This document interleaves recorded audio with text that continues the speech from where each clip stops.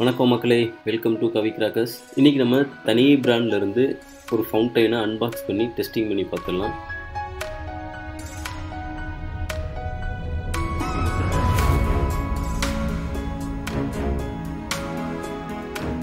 இந்த பாக்ஸ் பார்த்தீங்கனாலே ஒரு ஷைனிங்காக நல்ல குவாலிட்டியாக தெரியும். இந்த பாக்ஸ் நேம் பார்த்தீங்கன்னா யூவி பாக்ஸ்னு சொல்லுவாங்க. இப்போ நம்ம இந்த பாக்ஸை அன்பாக்ஸ் பண்ணி பார்த்துடலாம்.